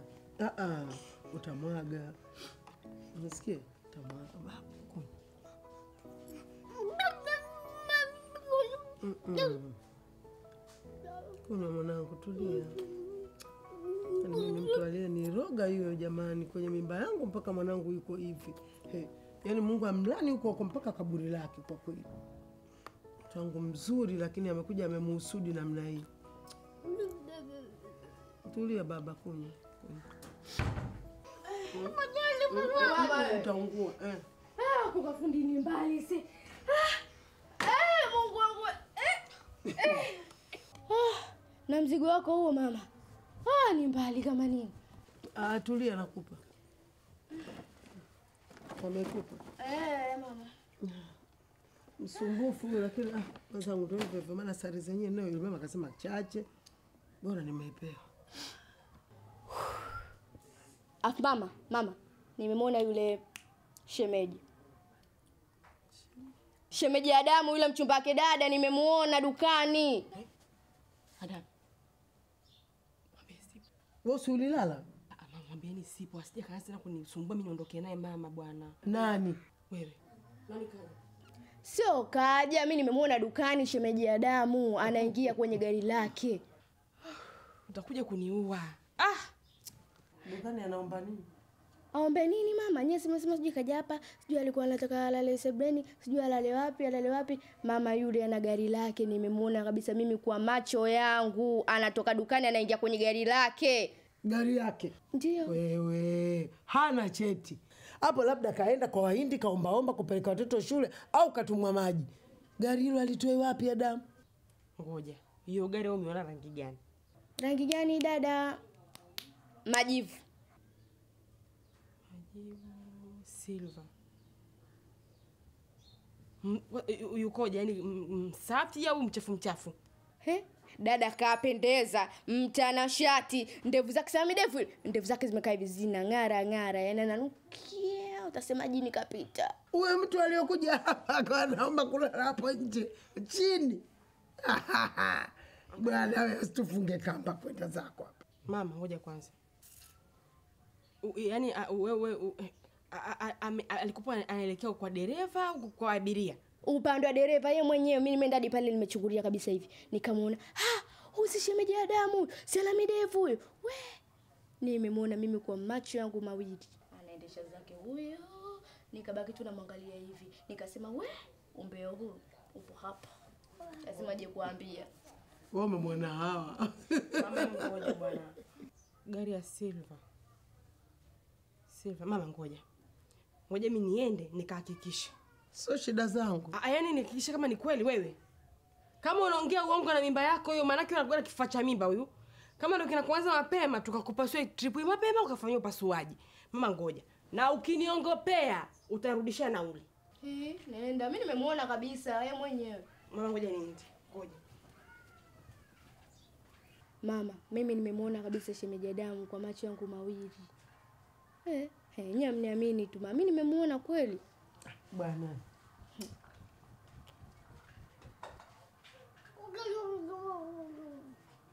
Alafu mama, mama, mwili toto yako nalinyosha uji mmemwachia mwanangu? Eh, kelele bwana. Umeanza. Niache wewe. Niache jamani, wewe mbona unapenda kumkorofisha? Basi ufundi tu. Niangalie. Kama unapenda chizi. kumkorofisha huyu? Niache bwana. Kama chizi liangalie. Kama ganga. Hebu kwenda huko.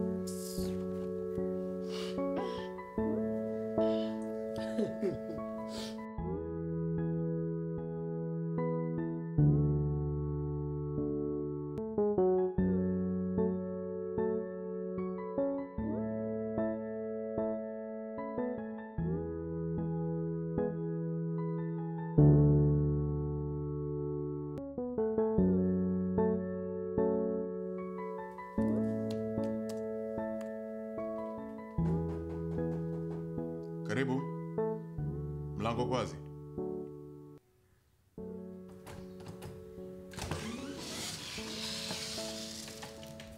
Ha! Baby. Comer com ele.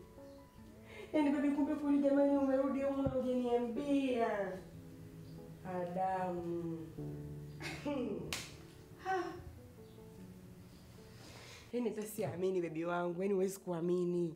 Eh.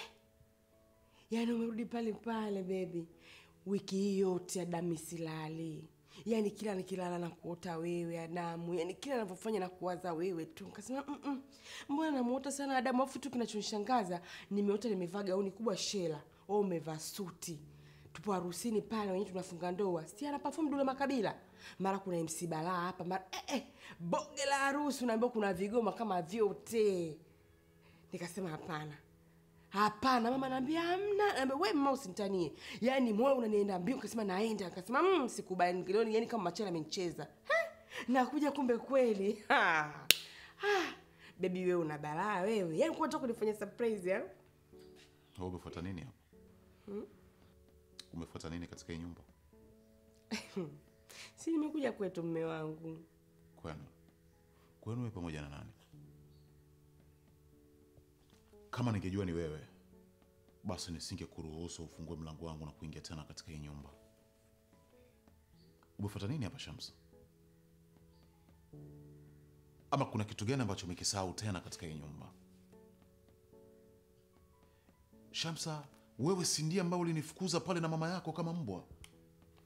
Mkasema kwamba hakuna nafasi ya mimi kukaa, mkanikatalia hata kulala katika kibaraza chenu. Leo kitu gani umekifuata hapa?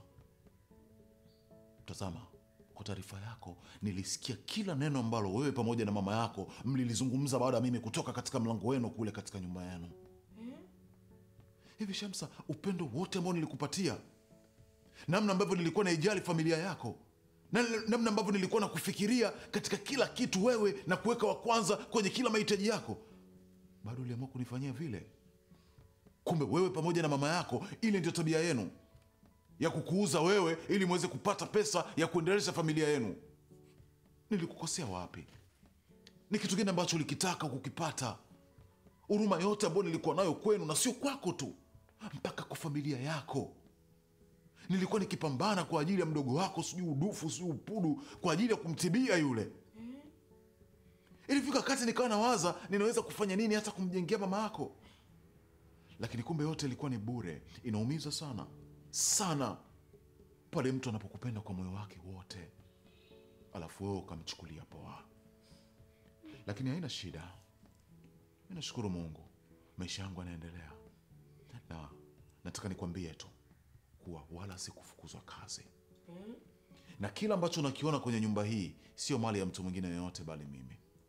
Hata nyumba pia ni mali yangu, lakini nilifanya vile ili niweze kukupima wewe uvumilivu wako. Shamsa, mimi sikuwa na shida kuja kulala pale kwenu, lakini nilitaka kuona chembe chembe hata ya huruma na hekima za mama yako. Akaishia kuntukana na kuniambia maneno ya ovyo. Maisha yangu yanaendelea hivyo, basi na ya kwako yaendelee bila uwepo wangu. Rudi kwenu Mburati, ukawe balozi mzuri kwa wanawake wenzako wenye tabia kama zako, na uwaambie kwamba bahati katika maisha huwa haiji mara mbili, inakuja mara moja, na ukiona imekuja mara ya pili, basi tambua huo ni mtego, unatakiwa uuruke na uukwepe kwa kadri utakavyoweza. Shamsa, naomba utoke katika nyumba yangu sasa hivi. Adami, siwezi mwenzio bila wewe, nakuwa pia vile siwezi. Yani yenye pale walivyoondoka tu siku ile ile, wiki yote ilikopo naota nashtuka, yani usiku silali, Adamu na kuwaza. Hebu nione mwenzako nilivyopauka, we Adamu, Bulati kugumu. Mme wangu mwenzio, siwezi kuishi bila wewe jamani. Yani miunda nisitoki kwa kweli, labda tuajua utoe mwili wangu, mi umu jamani wajua achukue mwili tu, vinginevyo labda mtoe na Gleda. Nakwambia itawinchi jeni je, nitoe mimi mundani, sitoke damu, siwezi kuishi bila wewe mwesia. Unajua Mbulati maisha yalivyo eh? Kwetu ulikuja ukaona Adamu hivi kweli, mimi nilivyokuwa mzuri namna ni wa kuishi kule kweli, Adamu kutwa kula dagaa mchele na vichwa vya kuku mwenzako, vitu vizuri vyote viko huku Adamu. Nimemisi kila kitu mundani mwezio Niache basi nikaekae kidogo jamani, tutayamaliza tu. Shamsa, toka kwenye nyumba. Madam, sitoki. Yaani mi kama nikutoka labda mtu ya maiti yangu tu humu ndani, mi humu ndani misitoke damu. Adamu. Mi naondokaje sehemu nzuri kama hii jamani? Security, njoeni hapa ndani haraka, kuna mtu ananifanyia fujo. Fanyeni haraka. Sitaki kutoka eh? Hapa. Adamu jamani, mimi nakupenda Adamu. Adamu, Adamu. Hivyo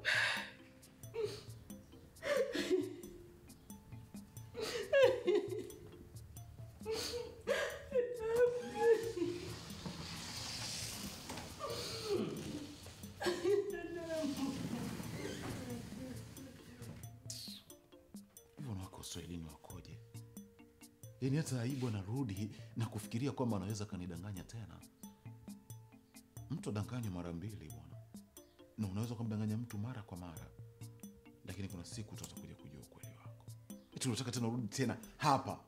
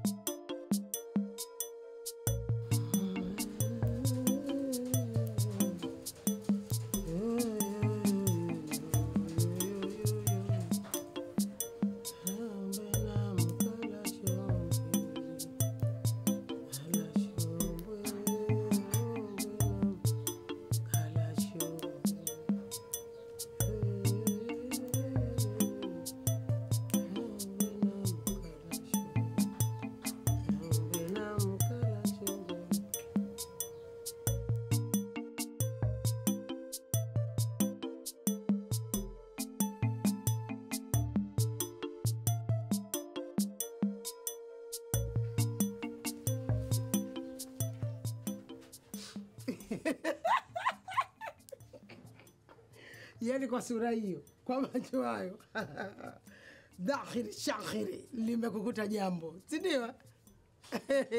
Nilikwambia mwanangu, ukiona maandishi ndio mwisho wa Jora. Jora kwishne. Ah, nataka nikahakikishe. Vipi, umemkuta kwenye gari bovu analala? Sasa nikasirikia mimi nini? Umemaliza? Ah, sasa nimemaliza. Si umeenda kuhakikisha? Maneno yako unayoongea, angalia sija kakunyonga. Umeniponza, umeniponza mama. Mimi tena huyu? Si umesema mwenyewe ndo kahakikishe kule kama kweli hayupo kafilisika, sio ana gari ana, si wewe mwenyewe? Mimi tena eh. Kuna wakati nagundua kwamba wahenga walikuwa ni waongo sana. Wahenga walikosea sana waliposema mtu mzima akosei. Mm -hmm. Waliposema mtu mzima ni dawa, walikosea sana. Mtu mzima anaweza akakosea na mtu mzima pia anaweza akawa ni sumu. Ilikuwa nadhani watu wazima wana busara sana mama, watu wazima wana jicho la tatu, lakini mama umeshindwa kulitumia jicho lako. Mama, umepitia mambo mengi sana, ina maana hata kusoma uso wa Adamu ulishindwa. Unamaanisha nini? Adamu mama hajafulia. Mama Adamu ana kila kitu mama, unachokijua mama Adamu ana kila kitu mama. Adamu ana nyumba, Adamu ana gari, Adamu ana kazi yake kama unavyomfahamu. Kitu kinachoniuma zaidi mama, Adamu alikuwa na malengo makubwa sana na wewe mama. Mama Adamu alikununulia kiwanja, alikuwa anataka kujengea nyumba mama, alikuwa anampenda sana Ufudu mama, ilikuwa pia anamhurumia. Alitafuta hospitali kubwa na gharama mama, sio hapa Tanzania, nje ya nchi mama. Ufudu angeenda kutibiwa. Alikuwa amini kabisa katika imani zako za kishirikina kwamba Ufudu akatibiwe Kongo tena kwa wataalamu wa jadi mama. Adamu alikuwa anataka mpeleke Ufudu nje ya nchi akatibiwa na wataalamu waliyebobea masuala ya saikolojia mama na kila kitu. Anasema Ufudu alikuwa na tatizo la kisaikolojia na matatizo mengine katika mwili mama. lakini kwa imani zako za kishirikina mama, kwa imani zako za kishirikina mama, umenisukumizia shimoni, umeangamiza maisha yangu, umeangamiza maisha yangu mama.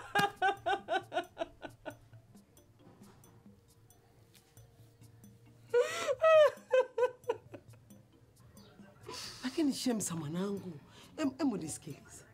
Wewe mwenyewe kwa masikio yako ulimsikia Adamu maneno aliyokuja akayasema, na umemuona ukamshuhudia, ni yeye mwenyewe anayeongea. Sasa mimi, mimi ningesemaje kwa mazingira tulionayo, maisha tulionayo na sehemu yenyewe hii- ambayo tumepewa, mimi mi- mi ningefanyaje? Hebu kwanza Shemsa, mi kosa langu nini? Adamu alikuwa anataka busara yako kama mtu mzima mama. Tutakula matembele kama mbuzi mpaka tunakufa mama. Kuanzia leo, kuanzia leo nichukulie kama mzinga wa nyuki. Ukinisogelea na kutoa maneno. Chunga kauli zako, dhibiti kauli zako Shemsa. Mimi ni Shamsa, kaa mbali na mimi eh?